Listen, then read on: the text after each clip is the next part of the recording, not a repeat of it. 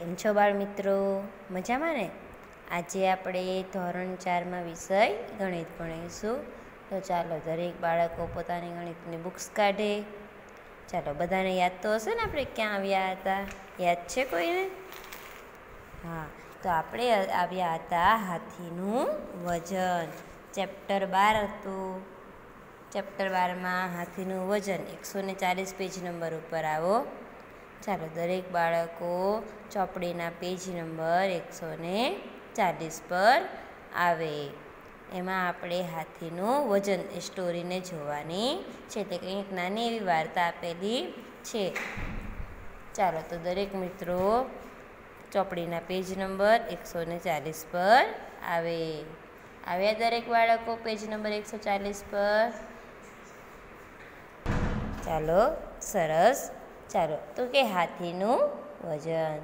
એકવાર રાજાને પેટમાં દુખાવો થયો. મહેલના કોઈ પણ ડૉક્ટર તેનો દુખાવો મટાડી ન શકે. અહીં રાજાની સ્ટોરી આપેલી છે. હવે રાજાને પેટમાં દુખે. પેટમાં દુખતો તો મહેલમાં કેટલા બધા ડૉક્ટર હતા. ડૉક્ટરમાંથી કોઈ પણ એનો દુખાવો છે મટાડી શકતા ન હતા ઓહો, નહીં.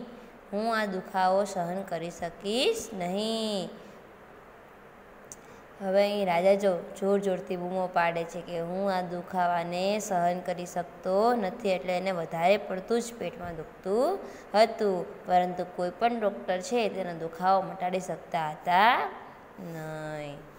પછી રાજાએ કહ્યું, જે કોઈ પણ મારો દુખાવો મટાડી શકશે, તેને હાથીના વજન જેટલું સોનું મળશે. હવે રાજા છે એને દુખાવો સહન થતો ન હતો, એટલે શું કહે છે? કે જે પણ મારા પેટનો દુખાવાને ઓછો કરશે, એને હું હાથી જેટલો ભારે છે એટલું હું એને સોનું આપીશ. શું કહે છે? હાથીના વજન જેટલું સોનું મળશે. તો આપણને તો ખબર છે કે હાથીનું વજન તો કેટલું વધારે હોય, તો સોનું પણ એટલું વધારે મળે. એટલે હવે જુઓ આ સાંભળીને દેશના બધે ઠેકાણેથી ડૉક્ટરો આવ્યા, પરંતુ માત્ર ડૉક્ટર વૈદિકા તેમને સાજા કરી શક્યા. હવે તો આજ આ આજ આ વાતની જાણ તો આખા દેશમાં થઈ ગઈ, એટલે દેશ વિદેશથી દરેક ડૉક્ટરો મહેલમાં આવે છે. કેમ આવે છે? તો કે રાજાના પેટના દુખાવાને ઓછો કરવા માટે. પરંતુ જે ડૉક્ટર વૈદિ, વૈદિકા છે એ જ આ ડૉક્ટરના, સોરી, આ રાજાના દુખાવાને મટાડી શકે છે, એટલે કે રાજાને સાજા કરી શકે છે. ઓહ, મારું દર્દ જતું રહ્યું. આપનો આભાર વૈદિકા, ડૉક્ટર વૈદિકા. હવે ડૉક્ટર, હવે છે, રાજાને સારું થઈ ગયું. એટલે વૈદિકા એટલે કે ડૉક્ટરનો આભાર માને છે.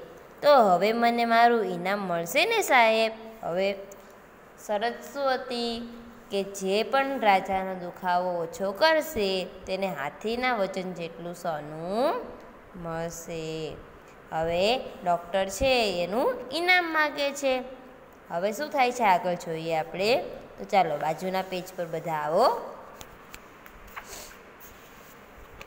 પરંતુ લોભી રાજા તેને સોનું આપવા માગતો ન હતો.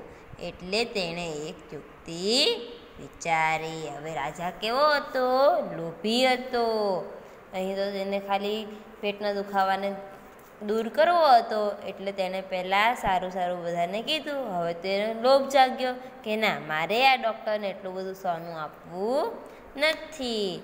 સારું, પહેલાં હાથીનું વજન શોધી લાવો. પછી હું તમને તેટલું સોનું આપીશ. હવે રાજા જો કેટલો ચાલાક છે, એ શું કહે છે? તમે જાઓ. હાથીનું વજન શોધી લાવો એટલે હું તમને એટલું સોનું આપી દઉં. હવે હાથીનું વજન, હાથીને વજન કરવું કેવી રીતે? વિચારો. વૈદિકા જ્યારે ઘરે પહોંચી, ત્યારે તે ખૂબ જ દુઃખી હતી. તેણે પોતાની દીકરીની પૂરી વાત કરી. હવે ડૉક્ટર વૈદિકા છે એ દુઃખી થઈ જાય છે કે આ તો મેં જે ઇનામના માટે મેં જે કર્યું, એ તો કેવું થઈ ગયું? ન થયું એટલે કે ડૉક્ટર વેદિકા આવે ખૂબ જ દુઃખી થઈ જાય છે અને બધી વાત પોતાની દીકરીને કરે છે. હું હાથીનું વજન કેવી રીતે કરું? આટલું મોટું ત્રાજવું મને ક્યાં મળશે? વિચારવા જેવું છે ને કે હાથીનું વજન કરવું કેવી રીતે? અને તેને ત્રાજવામાં કેવી રીતે એટલું મોટું ત્રાજુ આપણને ક્યાં મળે?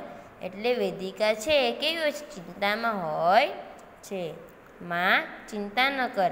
મારી પાસે એક યોજના છે. હવે એની દીકરી છે, એને યોજના આપે છે. રાજાને કહે કે હાથી અને મોટી હોડીની વ્યવસ્થા કરે. હવે શું કહે છે?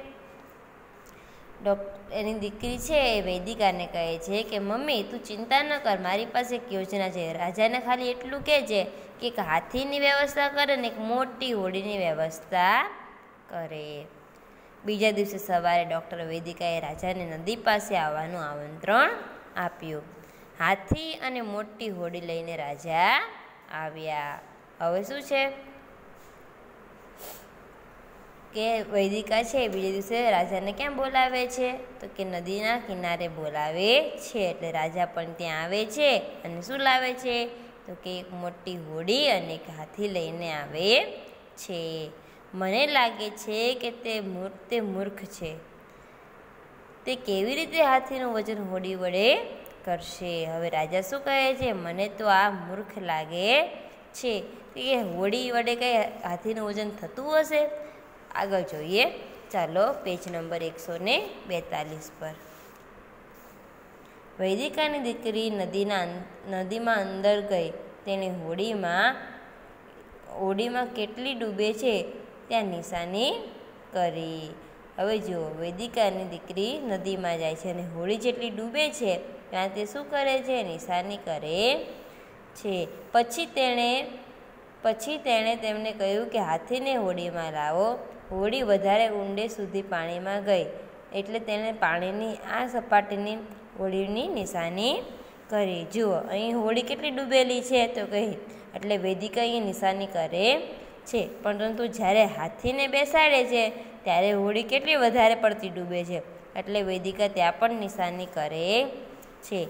આગળ શું બન્યું હશે તેની કલ્પના કરી વાર્તાને પૂર્ણ કરો અને તમારા મિત્રો સાથે ચર્ચા કરો કે વેદિકાએ કેવી રીતે હાથીનું વજન શોધ્યું.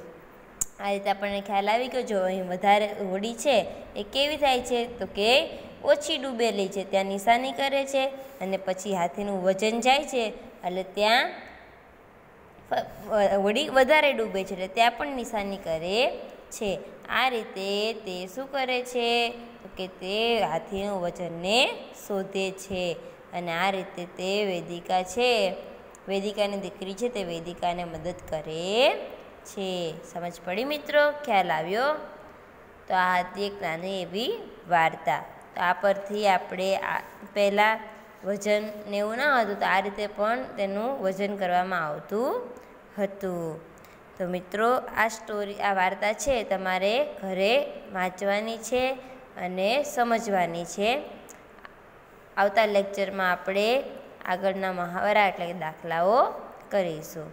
ઓકે મિત્રો, જય શ્રી કૃષ્ણ.